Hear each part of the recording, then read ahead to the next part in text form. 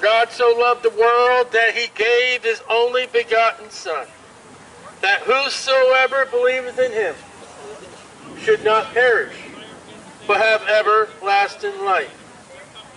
For God sent not his Son into the world to condemn the world, but that the world through him might be saved. He that believeth on him is not condemned, but he that believeth not is condemned already, because he has not believed in the name the only begotten Son of God. And this is the condemnation, that light is come into the world, and men love darkness rather than light, because their deeds were evil. He that believeth on the Son has everlasting life. He that believeth not the Son shall not see life, but the wrath of God abiding upon him. It's a nice, cold, chilly day today in Florida. And my advice for you, if you continue to reject Jesus Christ as your Savior, enjoy it. Because today may be the last day of coldness for you. For the wages of sin is death, and all men will die. And we don't even know when death coming. And yet, in a couple days, we're going to have a celebration of the new year, 2018. And you're not even promised if you will finish out 2017. You're not even assured that you will finish this Saturday. Death may Hey. come knocking on your door. You're always giving me things. I want to give you something today. Oh, thank you. Happy New Year. Happy New Year. You're always giving me something. I want to give you something today. Thank you very much. Death is assurance. Death is sure. Death is caused by the wages of sin that we do. We are sinners. We will die. If there's anything you can believe on today, you can believe on death. Now, you may not want death to happen so early, so quick in your life, you want it later on. And yet we have no idea when death is coming. And we come out here and preach. The Bible says, go in all the world and preach the gospel that you may believe on the Lord Jesus Christ to be saved, that Jesus suffered and died according to the scriptures, and was buried, and arose again the third day according to the scriptures. Because death is coming.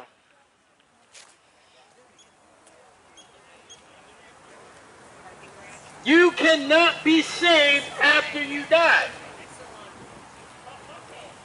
You cannot enter into the devil's hell and say, oh, I'll go back. And I will get saved so they'll come back. When man takes that final breath and steps off into eternity forever, eternal life is forever without time. Eternal life is in heaven by Jesus Christ and Jesus Christ alone. And hell is for those who have rejected the finished work of Jesus Christ. Jesus Christ is the standard for your method and your way to God in heaven. For Jesus said, I am the way, the truth, and the life. No man cometh unto the Father but by me. It's amazing when you open up the obituary pages on December 25th and you see all the people that will never celebrate the Christmas holiday again.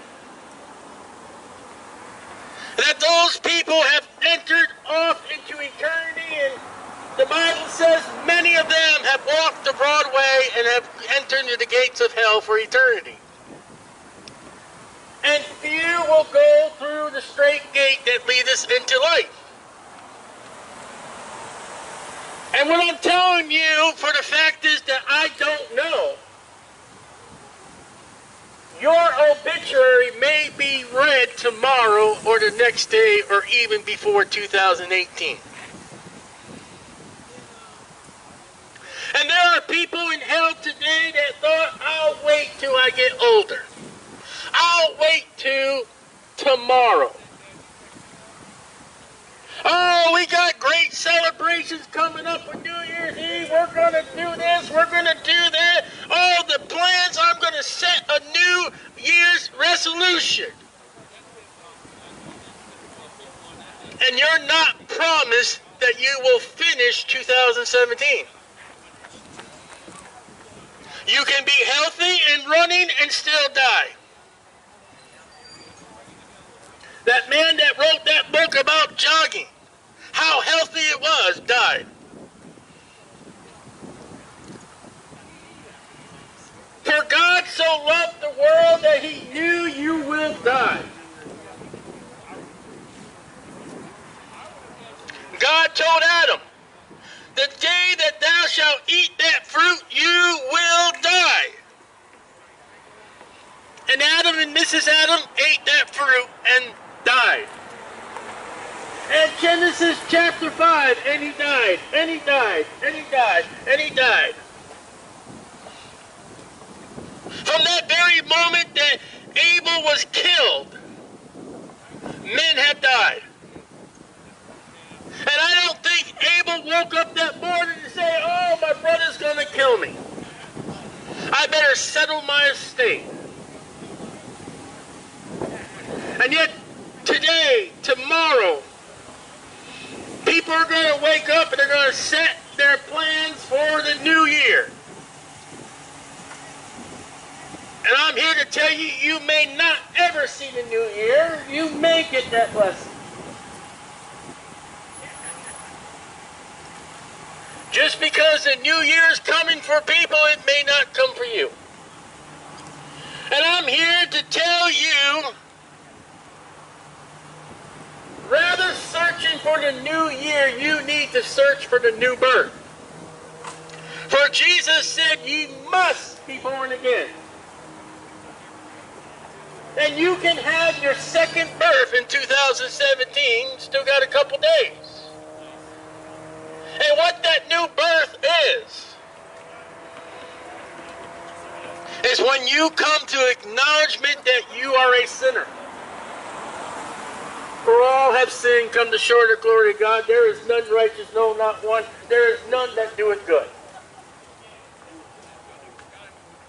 Whether there be good, innocent, white sins, or bad, evil, wicked, black sins. All have sinned and come to short of glory of God. To him that knoweth to doeth good and doeth it not, to him it is sin.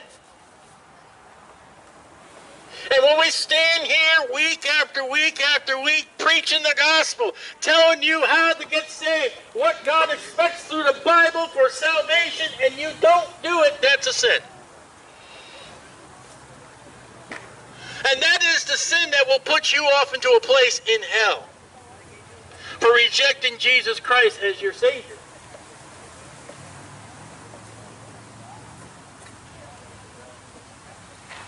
There's no other way to God but by Jesus Christ. There are no Baptists in heaven. There are no Catholics. There are no Muslims in heaven. There are born again, Bible believing Christians, and you need the new birth. You must have the new birth according to Jesus Christ. And that new birth must come before you die.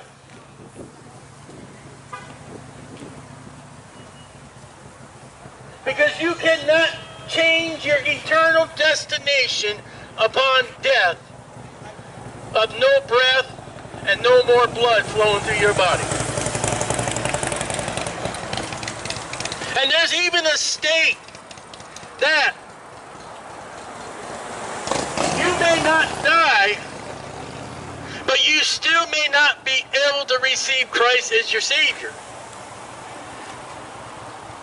I'm speaking in a realm that I got to admit that I don't know, but in a vegetation state, you may not ever be able to receive Christ. There may come a time in your life that your decision to finally receive Christ as your Savior, you may not be able to do it. By death, definitely. You may come to that point, you die, and that's it. Your last chance has come upon you. And we don't know when death is happening, and it's a miserable thing to talk about with the new year coming, and he's over there preaching about death. How miserable, and yet. How many people are you going to open up the obituaries on January 1st and see never saw 2018?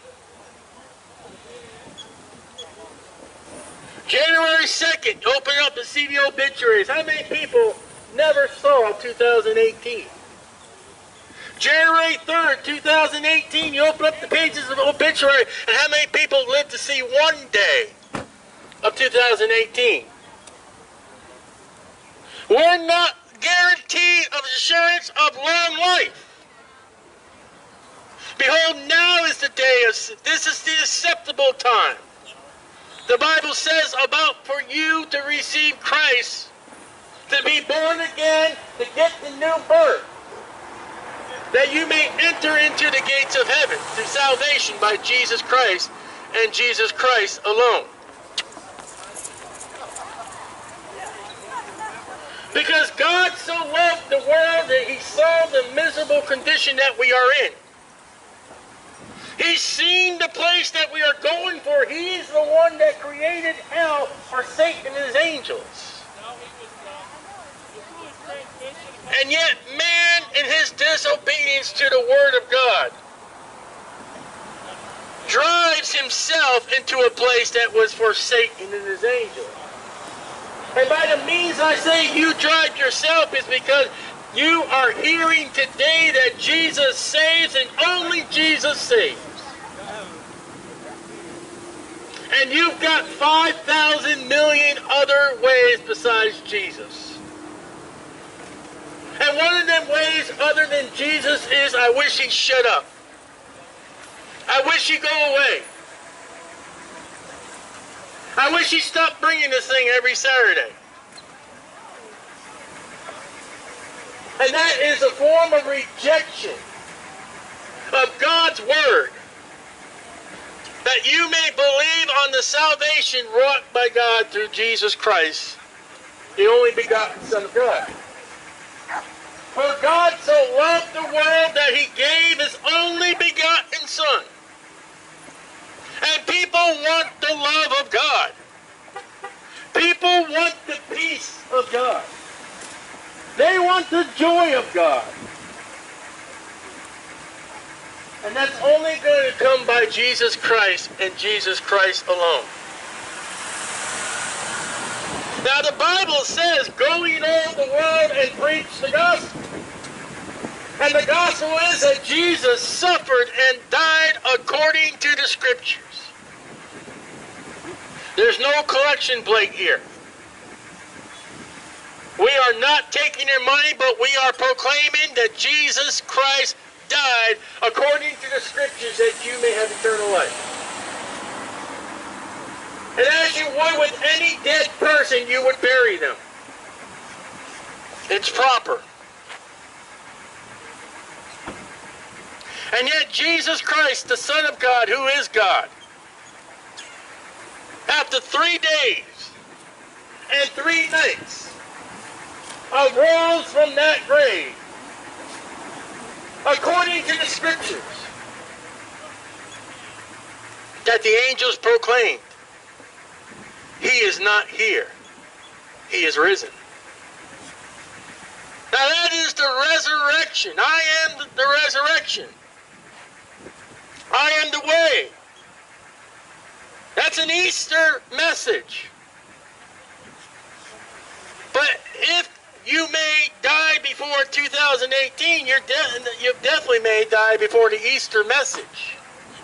There is no one time for the gospel to preach of the resurrection of Jesus Christ, and there's no one time to preach this message, but the message that's to be preached all the time is that Jesus saves and you need to believe on him to be saved. The gospel.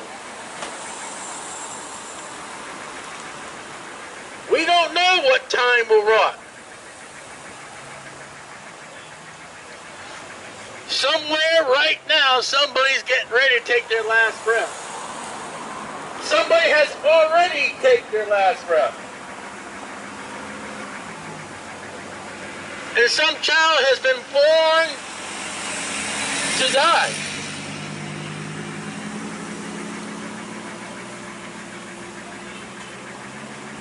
We're all living, breathing, moving, shopping, eating, talking. And when we enter to the realm of eternity, that will never stop. According to the Bible, whether heaven or hell. And in heaven, a body that will be new, without pain, without suffering, without tears. An eternal, eternal body like unto the angels forever. And glorious, worshiping the one that suffered and died and was buried for us and arose again. That's the good aspect. That we will have in heaven our mouths, our eyes, our ears, all to the glory of Jesus Christ, our Savior.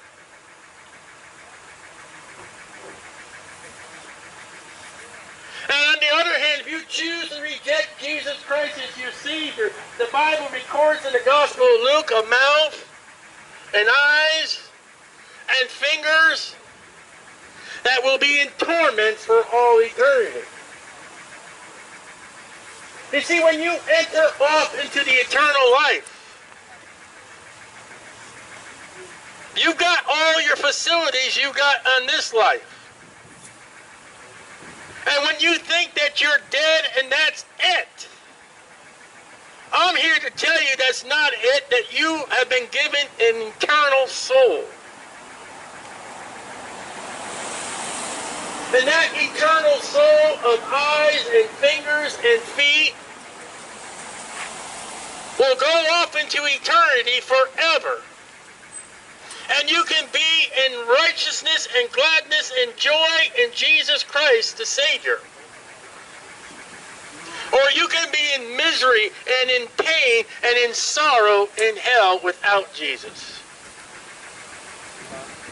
You see, in heaven, it's all about God and His Son, Jesus Christ. In glory, it's all about righteousness and holiness.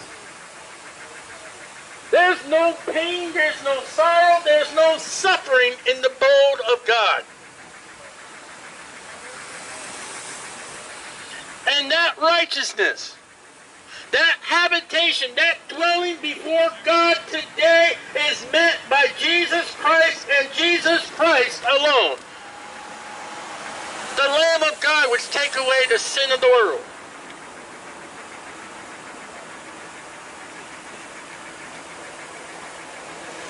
If you are suffering on this earth alive right now,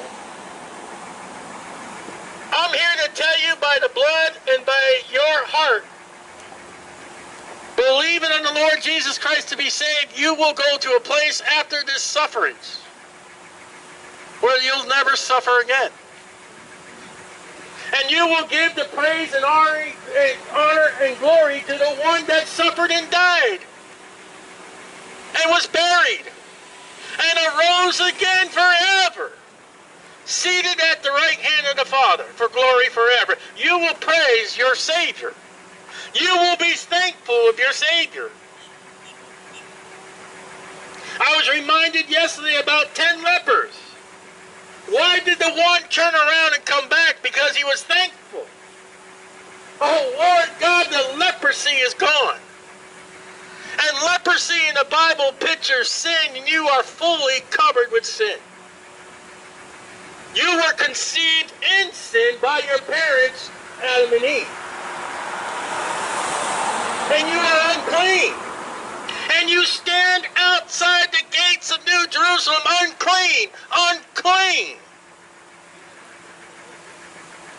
Except being by washed by the high priest, Jesus Christ, who entered into that veil with his blood, without spot, without sin. The Lamb of God which take away the sin of the world. And yet, if you choose to reject Jesus Christ as your Savior, you will enter a place called hell. Now, when I first got saved growing up, there people say there's no God. Atheists. Scientists. We are in a day and age today that Christians and churches deny the existence of a place called hell. You see, if we imagine, you know, imagine in our minds, so it will be so. So we imagine there's no God, and we imagine there's no hell, and there's peace and prosperity, it will blow your mind to enter a place that you don't believe in.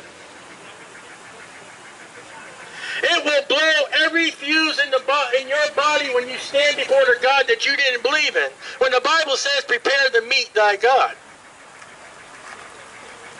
And without your faith and belief in Jesus Christ, and you enter into the gates of hell that burneth forever, you will never get over that shock. And in the medical realm, when a body has suffered such consequences, the body goes into shock. It shuts down. It needs to get back together, needs healing. But when you wake up in the gates of hell, you'll be shocked that there'll be no remedy to come out of that. And you will have all eternity to, to put into your thoughts that you have rejected God's free gift. And you have entered into the presence without God. And that's exactly what hell is. It's a place without God. It's a place without Jesus Christ, exactly where you want to go. Because if you don't want Jesus Christ right now while you're living, you don't want Jesus Christ after you die.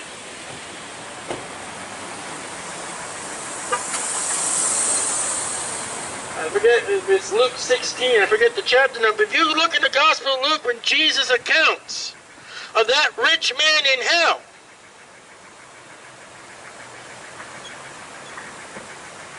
The only thing he says about the life is, "Will you go tell my brother?" And I got five of them not to come here, but he never himself. Oh, give me a second chance. As he's tormented, being tormented in the flames of hell for all eternity. Oh, just give me a drop of water. He didn't ask for a keg of beer. He asked just for a drop of water to cool his tongue. I'm here to tell you that in hell you'll be absent from God and absent from the Lamb. You'll be absent from Jesus Christ, who you are hearing being preached to you today.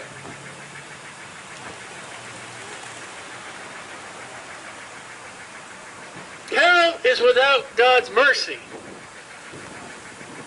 There is no righteousness in hell. There is no glory in hell because glory is of God. There is no love in hell, for God is love. There's no light in hell, for Jesus Christ said, I am the light of the world. There is no water in hell, for Jesus said, I am the water of life. There is no truth in hell, for Jesus said, I am the truth. There is no life in hell, for Jesus said, I am the life.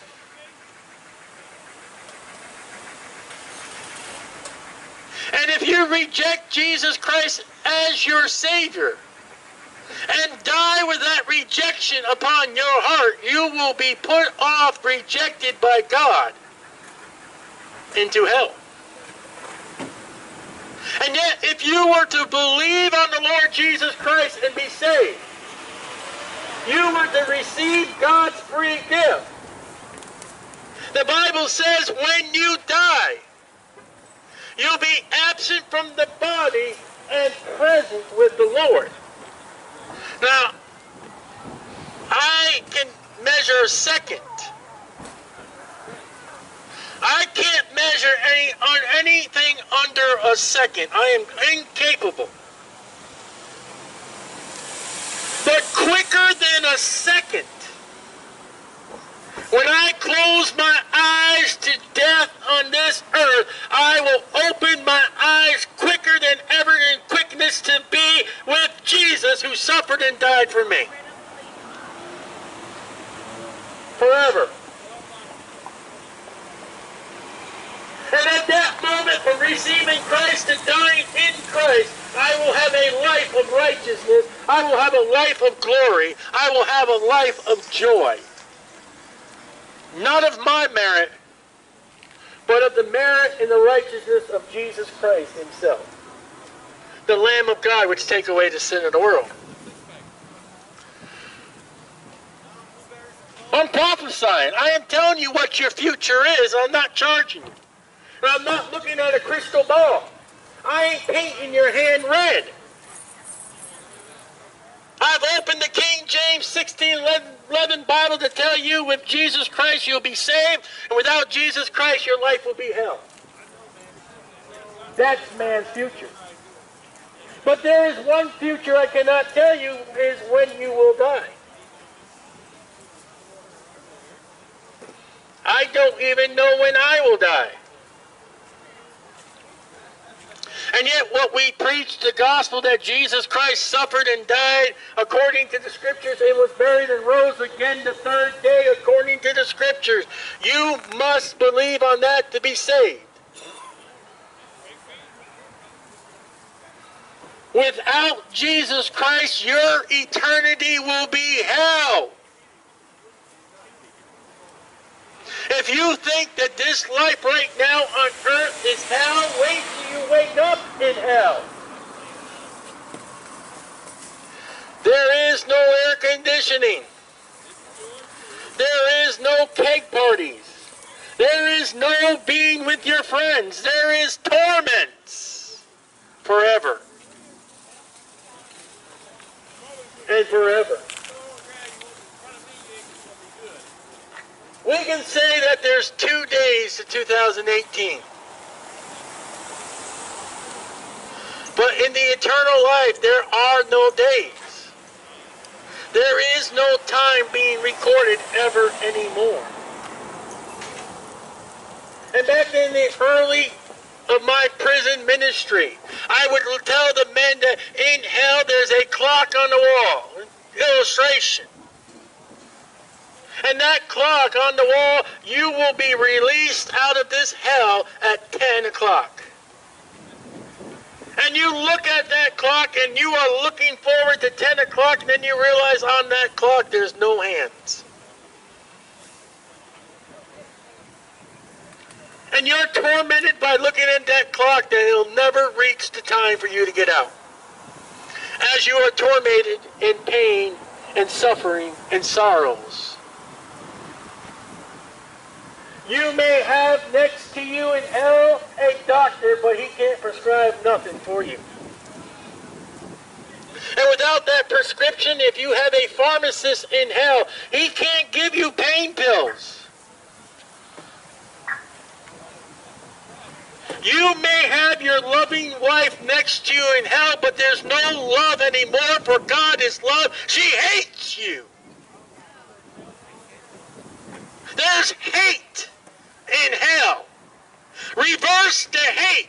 You're going to a place that has nothing but hate. For God is love. And if you want love, you got to receive Jesus Christ. I don't care what the Beatles or the cockroaches sang. I don't care what that music plays on the radio. The Bible says otherwise. Hell is so terrible that God sent his son to suffer and die that you may not go. And not only did God send his son, for God so loved the world that he gave his only begotten son, that whosoever believes in him has eternal life, that he that has the son has life. And he that has not the Son shall not see life, but the wrath of God abiding upon him. Not only is that the love of God, contrary to what many of you think when we come out here every week, God said to those that are saved, Go ye all the world and preach the gospel. Tell them about hell. Tell them about Jesus. The loving aspect of God is that He sends preachers to you.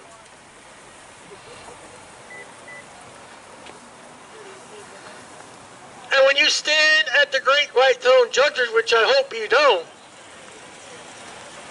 you will see that Jesus Christ is the love of God, and you will see that preachers and gospel tracts are the love of God. And you rejected it.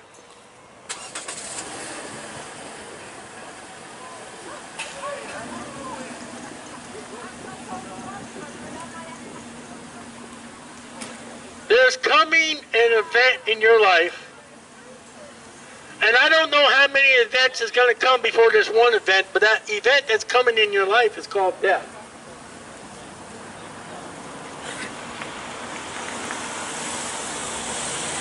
And it may have years. It may have months. It may have weeks. It may have days hours maybe. I don't know. But whatever your living time is, if you do not receive Jesus Christ as your Savior, when you do die, you will wake up in hell. Hell and Jesus Christ are real. And if you were or have received Christ as your Savior, and that death comes upon you, you will be absent from that body and glorifying in the Lord. There'll be no other happiest time in your life when you see Jesus.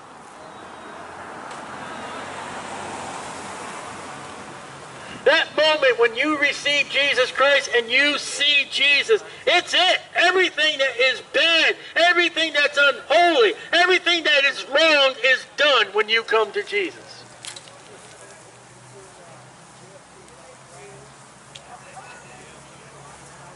And yet, when you see Jesus at the great white throne,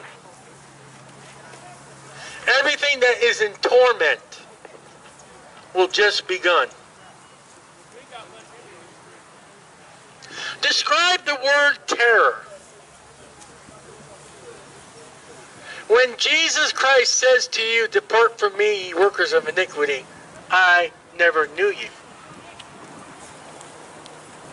You see, ISIS may be a terrorist group, but there's not a greater terror than Jesus telling you, Get away from me. Depart from me. Now notice Jesus says, Depart from me, ye workers of iniquity. You haven't been washed of your sins. And if you're not washed of your sins, you will die in your sins and you'll wake up in hell. And the one that suffered and died and was buried and rose again, according to the scriptures, will pronounce you unclean, pronounce you in your iniquity, and cast you off into the lake of fire that burns forever. That same Jesus we are preaching to you that you may come to him to know him as your Savior today, that he will not cast you into hell, but he'll bring you in the presence of his Father and the angels. That same Jesus that suffered and died for you will be the same Jesus that will cast you into hell if you reject him.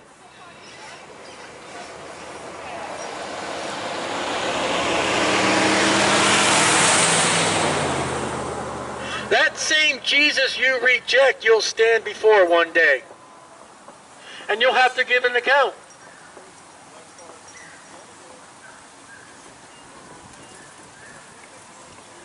That same Jesus that will pronounce you as a sinner can wash you of your sins today, now.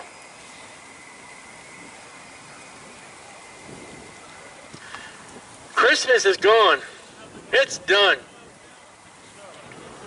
But there's still one gift you haven't opened. And that gift is not found under a tree, it's found on a tree. And that gift is the gift of God, Jesus Christ, the Lamb of God which take away the sin of the world. And you won't find that gift on the shelves of a store.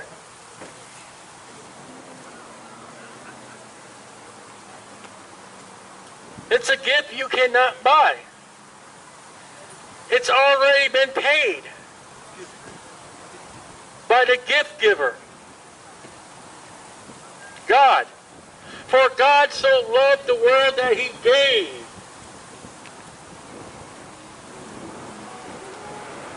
The love of God is giving. And God has given to you his eternal Son.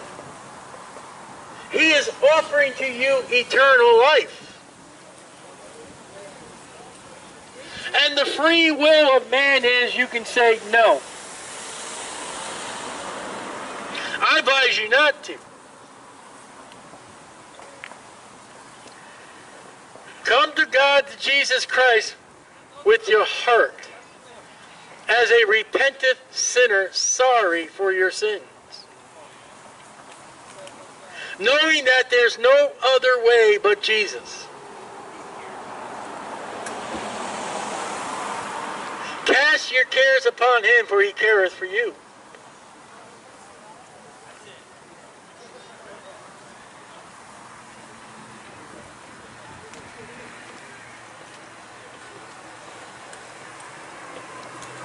Eternal life is by Jesus Christ and Jesus Christ alone.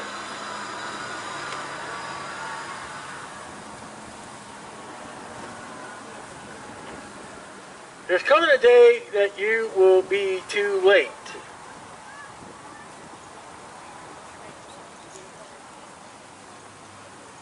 In a place where you do not want to be. And what's worse is you have heard what you must do to not go to hell.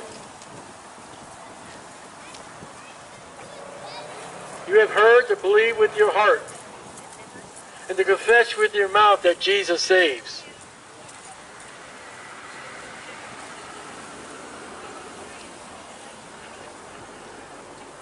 Jesus is coming.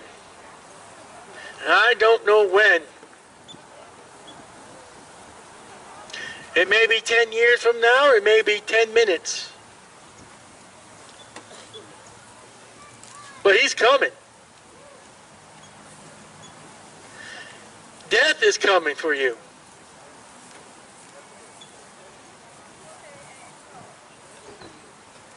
When death comes knocking, be saved. Be washed in the blood of the Lamb that take away the sin of the world.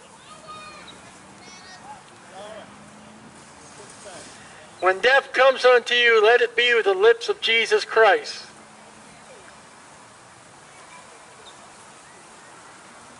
Do not die with the lips of religion. God won't take that.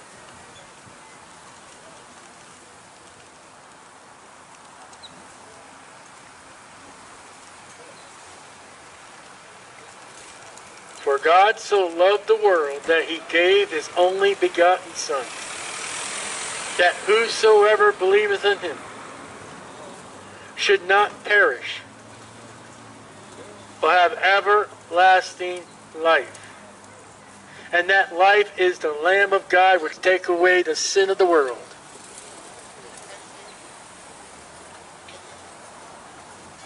It's the same message, it's the same salvation, it's the same Jesus. Only man has changed. God, he never changes. Be washed in the Lamb. God says, Come now, let us reason together. Though your sins be as scarlet, they shall be white as snow.